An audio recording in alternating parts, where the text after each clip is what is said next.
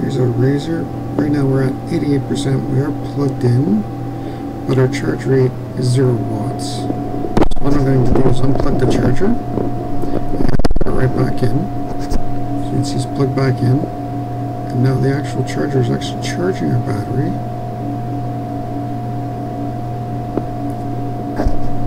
And we're going to wait for a minute here. And there it goes. It's no longer charging, but it's still plugged in. So now if I unplug my charger, oh no, I didn't even unplug it again, and now it's charging again.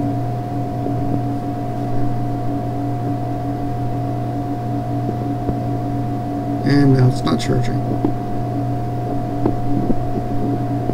I left this on overnight as well, and it did not charge the battery past where it already was. So I'm going to unplug it, plug it back in.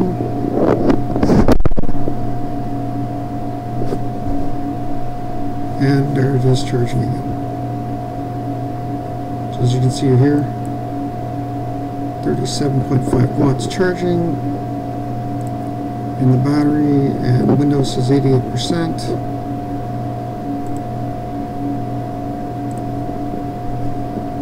And there it goes. And now it's not. It stopped again. Plug it in. And it'll start up again. There it is.